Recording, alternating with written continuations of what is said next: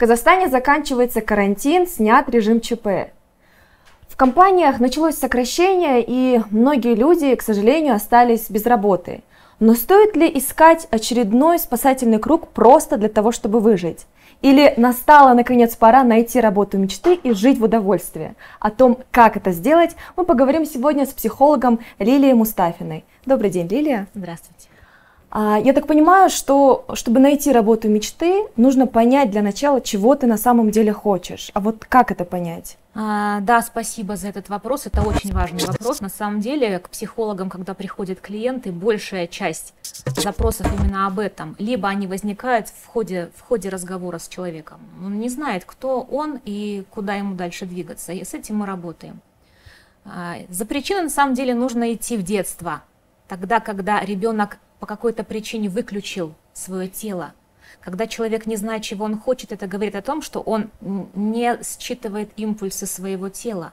Это происходит тогда, когда ребенок хочет чего-то, ему запрещают, говорят, допустим, э, ту же самую манную кашу он не любит, а ему пихают, да, и вот он не может сказать, что мам, я не хочу, или одевают в детский сад эти колготки натягивают, да, и он не может, мама ругается, пошли быстрее, и он выключает свое тело, потому что в этом теле ему ком- некомфортно и он понимает, что что-то с ним не так.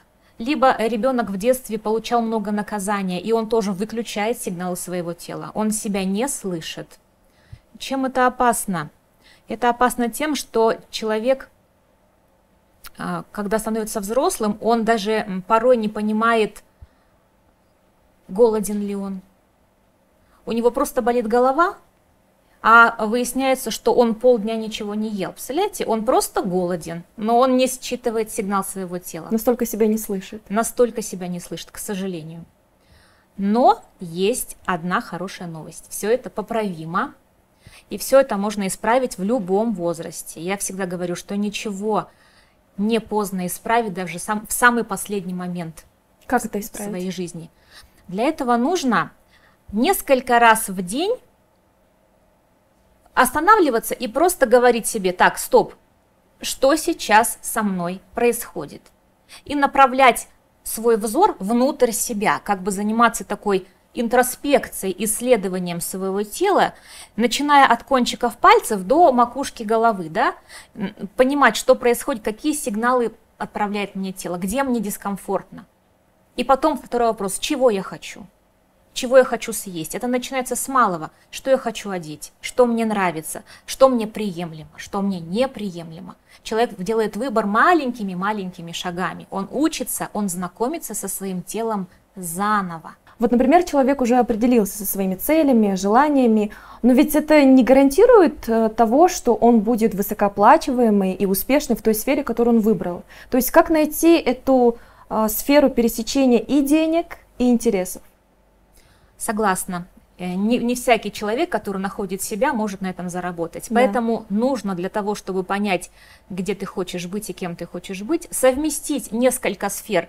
То, что я люблю, то, что я умею, то, что, за то, что платят деньги, и то, что нужно обществу в данный момент. То есть на пересечении всех этих четырех сфер находится то, что называется твоя работа. Знаете, а, у японцев есть такой э, термин икигай – это как бы миссия моя на этой земле, да, и вот этот икигай складывается как раз на пересечении этих четырех сфер. Вот если ты это поймаешь, ты найдешь, что у тебя не будет никаких сомнений о том, что это твое. У тебя внутри зажгется солнце, от которого у тебя будет просто огромный прилив энергии. И ты поймешь, что это то. И за это тебе платят. Плюс, когда ты находишь эту работу, забудь про деньги. Забудь про деньги и работай эм, для себя. И тогда деньги придут сами по себе. Потому что если человек начинает э, искать, искать работу в поисках денег, то это принесет ему только нервное, э, нервно-психическое выгорание. То есть деньги не должны быть целью? Нет. Поговорим о поиске работы. Человек э, пишет резюме, что в нем такого указать, чтобы выделиться из множества претендентов? Или указать в сопроводительном письме к резюме? Но первое, чтобы я порекомендовала, чтобы это резюме было написано под конкретного работодателя. Чтобы оно не было таким холодным, э, со строчками хронологии, там тут родился, тут пошел в школу. Это холодное резюме такое бездушное. Когда идет поиск э, вакансий да, на, на предприятии, конечно, их там надо понимать, что очень много этих резюме, там может быть несколько десятков, может быть несколько сотен. Твое резюме должно быть написано так, чтобы работодатель его взял в руки и понял, что это он ждал и искал этого человека всю свою жизнь. Но, опять же, там должна быть э, только правда. Для этого нужно ознакомиться с тем, что работодатель делает, что для него важно, его ценности узнать, и вот под них как-то да, соста- составить так резюме, чтобы они, что, что как будто бы ты все время только и жил, и учился для того, чтобы работать у них. А зарплату нужно указывать? Обязательно. Зарплату указывать обязательно нужно, я это всегда советую. Почему? Потому что человек, уверенный в себе, профессионал, он должен знать свою цену. И работодатель, видя, эту, э, видя эту, это резюме, эту вакансию, тоже должен знать, что человек себя ценит. Не просто возьмите меня за, сколь, за столько, за сколько хотите. Нет, так не пойдет. Нужно указывать свою цену. А как же момент договоренности? Вот, например, а, соискатель указал сумму 500 тысяч тенге. Угу. А при этом, возможно, работодатель готов такую сумму дать, но он еще не видел этого соискателя, и это вот надо как-то посмотреть в процессе собеседования. То стоит ли в таком случае указывать заработную плату? Может быть, стоит написать по договоренности и там уже показать себя на собеседовании и потом уже дожать эту сумму? Э, я бы советовала сразу внести элементы конкретики чтобы, опять же, эта сумма не должна быть заоблачной. Нужно изучить рынок, да, средняя зарплата в вашем регионе по, по, вашей, по вашей специализации должна быть э, э, такой уместной, скажем так. А как произвести тогда хорошее впечатление на собеседовании? Какие есть ошибки в поведении? Э, хороший вопрос, спасибо. На самом деле ошибки есть и часто встречающиеся. Например, когда э, человек пришел э, искать работу и э, сконфужен, не уверен в себе, как-то зажат, когда он говорит много частиц «не», допустим, и слова «нет», кстати, слова нет, оно может даже в таком контексте, как слово паразит. Ему, ему значит, задают вопрос, справишься ли ты? Нет, ну я попробую. Вот это вот слово нет, это слово паразит, это, это нужно прямо отсканировать себя, свою речь и исключать эти слова. Оно сразу западает к работодателю в голову, он думает, что нет, не И подходит. создается такое о тебе негативное такое угу. впечатление. И вот эти частицы нет. Допустим, знаете ли вы эту сферу? Не надо говорить нет, или я не думаю, или я не уверен. Вот это вот слова, слова неуверенности в себе, не уверен, не знаю, вообще исключить. Нужно эти слова заменить другими фразами, допустим, э, знаете, мне нужно две недели, чтобы я это освоил. Все. Ты сказал то же самое, только другими словами, и без частицы «не» совсем другой посыл произвел ты на работодателя. И конкретика, да, здесь важна? Вот две недели, три недели? Чтобы... Ну, там уже в зависимости от контекста, в зависимости от контекста, от специализации, от ситуации. Угу. А какие еще есть ошибки? Ошибки, когда, допустим, э, надо понимать, что ты приходишь на собеседование, там тебя встречает либо руководитель, либо э, э, руководитель департамента HR, они смотрят на тебя с ног до головы с момента, как ты заходишь в компанию. Э, опять же, дресс-код немаловажен, да, если ты пришел в какую-то коммерческую структуру или банк, неуместно будет, если ты будешь в спортивном костюме или в рваных джинсах, да, или наоборот, если ты приходишь в фитнес-центр и ты в деловом костюме. Тут нужно просто вот со соотносить свой, свой внешний вид, это очень важно. Второе, на тебя смотрят пристально постоянно, и опытный руководитель HR-департамента, он моментально считывает все твои невербальные сигналы. Поэтому нужно э, смотреть не, не в пол, смотреть в глаза, стараться, не чтобы взгляд у тебя не бегал, да, вот так вот везде не бегал, это признак неуверенности – вот, говорить на вопросы четко, ясно и самое главное, не пытаться произвести такое наигранное хорошее впечатление. Нужно просто быть собой. А как отвечать на вопросы о прошлой работе? Ну, знаете, я всегда за правду. Если правда неприятная, не хочется об этом говорить, лучше сказать «я не хочу затрагивать эту тему», потому что никогда нельзя говорить плохо о своем прежнем работодателе. Это, это закон, это запрещено. Потому что а, если он говорит плохо о прошлом работодателе, то он может сказать в будущем и об этом работодателе и возможно, плохо. и скажет. Возможно, и скажет, да. Угу. Если потенциальный работодатель в итоге не перезвонил, что делать? Я советовала бы позвонить, напомнить о себе один раз, потому что, возможно, твое, твое резюме потеряется просто. Бывает и такое один раз позвонить, напомните себе, и этого достаточно. Это не будет считаться назойливостью, какой-то неуверенностью в себе? Нет, это не будет считаться назойливостью, это, это, это просто вы будете спокойны, что э, вы можете, вам там отказано, и вы можете искать новую работу. Опять же, когда идешь на собеседование, нужно вести себя так, как будто бы это не последняя твоя работа, соломинка, за которую ты схватился. Ну, нужно понимать, что тебе, возможно, и откажут. Нужно, чтобы у тебя было где-то в плане еще 2-3 посещения каких-то каких э, компаний. Чтобы не зацикливаться на одной. Нет, потому что в глазах у тебя тогда будет мольба, просьба о помощи, а ты должен вести себя с достоинством. Человек устроился на работу, а что нужно ему сделать э, в первые рабочие дни? Как выстроить отношения с коллегами, с начальством? Как социализироваться? Ну, если уж так повезло, уже ты устроился на работу, то нужно понимать, что сотрудники, с которыми ты работаешь, руководство это тебе не враги, это люди, с которыми ты будешь э, проводить 8 часов в день, как минимум 5 дней в неделю. Это твои друзья, коллеги, соратники. Поэтому нужно вести себя максимально корректно, дружелюбно и не агрессивно. Не нужно, э, э, как сказать, э, заискивать, там как-то вот так вот, ну, что, чтобы, чтобы от тебя не исходило ощущение того, что ты не уверен в себе. Ты такой же сотрудник, и ты принесешь доход компании. Все. При этом часто бывает, что с коллегами а, вот новые работники начинают делиться какими-то секретами из личной жизни, не из личной жизни. Вот это вот можно допускать или все-таки коллеги это такие люди, с которыми ты должен соблюдать субординацию? Очень часто бывает такое, буквально в первые недели начинаются вот эти сплетни.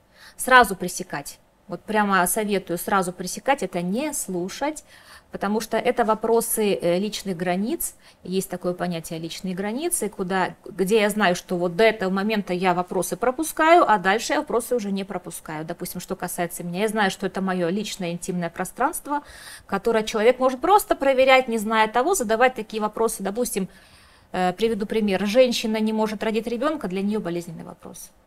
А что такого для другого спросить, а сколько у вас детей? Эти вопросы для нее очень болезненны, но коллега этого, к сожалению, не знает и даже не представляет, что вопрос этот касается его личных границ. А эти, а вопросы, есть... эти вопросы прямо нужно сразу, э, не оправдываясь, э, говорить о том, что я не хочу говорить на эту тему, извините. А если сам новый сотрудник приходит на новую работу и начинает делиться секретами, потому что, ну, я так думаю, вот он испытал некий стресс, а, хочет как-то сблизиться с коллегами, и ему ну, у него в голове нет другого выхода, как э, не иначе, как вот делиться секретами и какой-то информацией своей личной. Это говорит о его личной э, неуверенности в себе и э, способности вот таким способом влиться в доверие. Ну, я считаю, что это недопустимо. Угу. А какие тогда вот есть оптимальные способы, чтобы вот сразу наладить хорошие отношения? То есть это, я не знаю, принести там в первый день каких-то гостинцев – как-то со всеми сразу наладить какой-то контакт, или, может быть, устроить какой-то вечер или день э, более личного знакомства. Вот как это должно проходить? Знаете, это на усмотрение самого человека. Если он будет, э, если он принесет э, вот этот вот, грубо говоря, торт с достоинством, там, ребят, я вот хотела вас угостить, это будет смотреться очень даже гармонично, да, это будет вписываться. Это можно даже не в первый день сделать, в первую неделю. Если он придет э, с, с таким вот с поникшими плечами, боится поднять глаза и принесет этот торт, это будет считываться совсем другая информация о человеке. Самое главное всегда нести свое достоинство, знать, что ты профессионал и что ты достоин того, чтобы к тебе обращались по-человечески. То есть вот этот внутренний стержень, как его не скрывай, ну, э, не скрывай его отсутствие, все равно все станет явным. Совершенно верно, потому что через невербалику мы получаем от 60 до 80 процентов информации о человеке.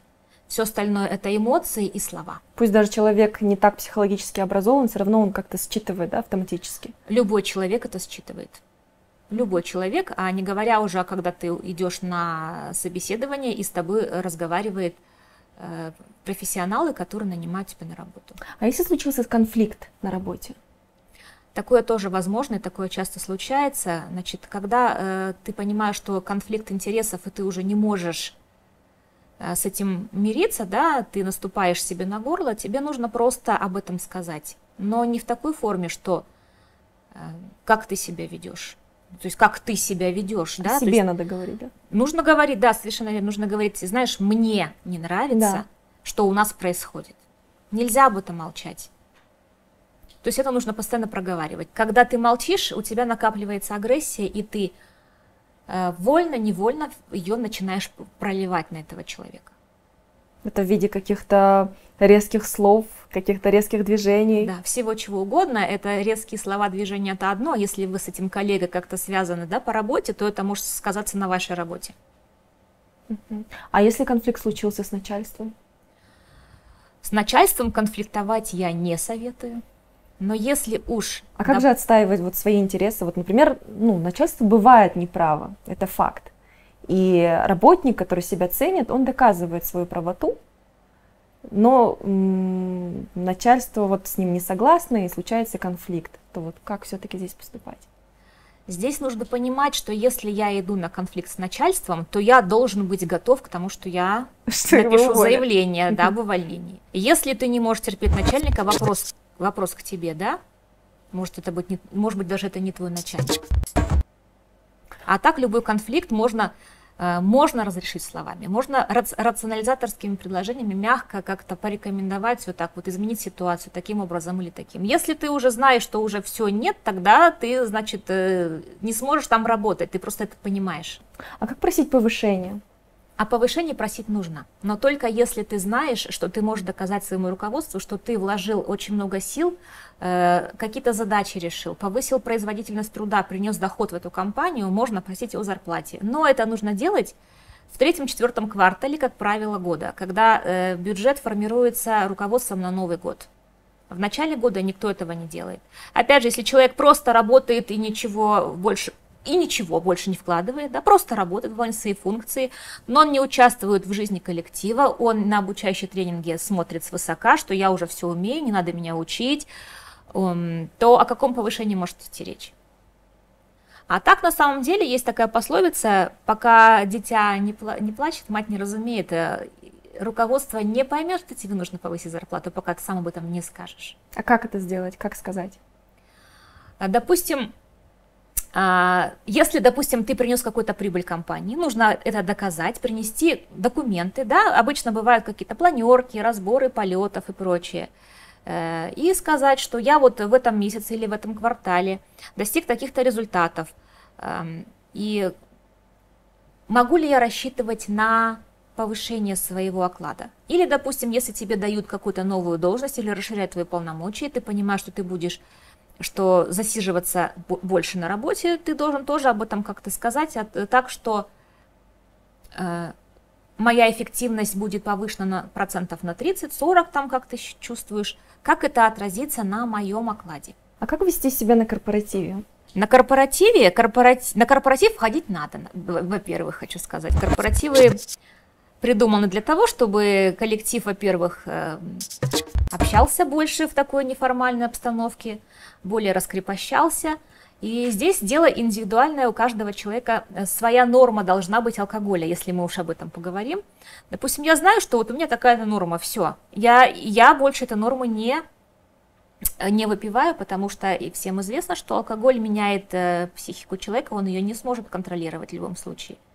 Поэтому ходить надо, но вести себя нужно достойно и знать свою норму.